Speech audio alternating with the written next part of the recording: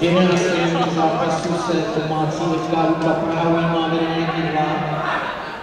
Střelcem branky byl hráč číslo 12.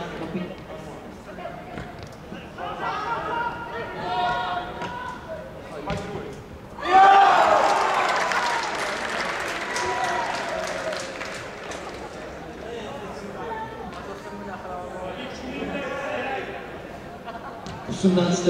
minutě zápasu zvyšuje domácí FK Luka Praha své vedení na 2-0.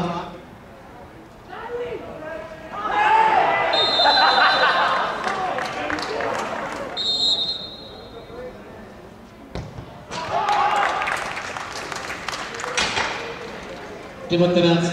minutě zápasu zvyšuje domácí FK Luka Praha své vedení na 3-0.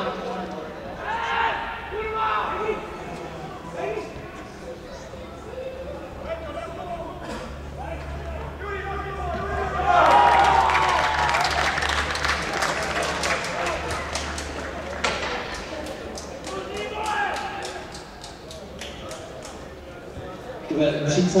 minutě zápasu zvyšuje domácí FK Dukla Praha své vedení na 4 0.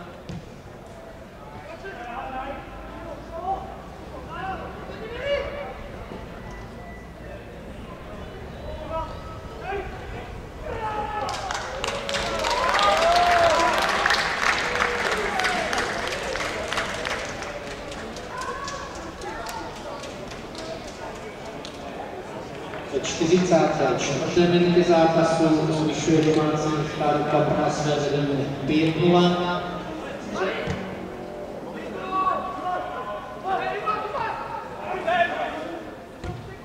Jo,